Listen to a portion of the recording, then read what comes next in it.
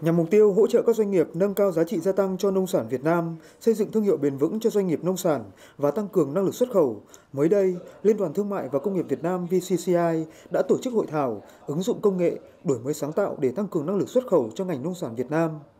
Tại hội thảo, đại diện Bộ Công Thương cho biết, 8 tháng đầu năm 2023, tổng kim ngạch xuất khẩu nông sản đạt 16,9 tỷ đô la Mỹ, tăng 11,5% so với cùng kỳ năm 2022. Tuy nhiên, mức độ sẵn sàng cho hội nhập của các doanh nghiệp xuất khẩu nông sản của Việt Nam còn khiêm tốn. Việc khai thác cơ hội từ hội nhập kinh tế quốc tế, thực thi cam kết trong các FTA cho phát triển thị trường xuất khẩu nông sản thời gian qua chưa đạt hiệu quả như mong muốn. Việc xây dựng và triển khai thực hiện các chiến lược, chính sách, quy hoạch phát triển các ngành chưa phù hợp, chưa tiếp cận sát với nhu cầu của các doanh nghiệp xuất khẩu nông sản. Vì vậy, cần phát triển các loại hình dịch vụ logistics, tăng cường ứng dụng công nghệ thông tin trong logistics, đẩy mạnh ứng dụng công nghệ thông tin và chuyển đổi số trong hoạt động xúc tiến thương mại. Ngoài ra, cần nâng cao hàm lượng đổi mới sáng tạo trong sản phẩm gia vị, rau quả xuất khẩu, xây dựng và phát triển thương hiệu, tăng tỷ trọng các sản phẩm gia vị, rau quả xuất khẩu có giá trị gia tăng, có hàm lượng khoa học công nghệ, các sản phẩm kinh tế xanh, kinh tế tuần hoàn, các sản phẩm thân thiện với môi trường.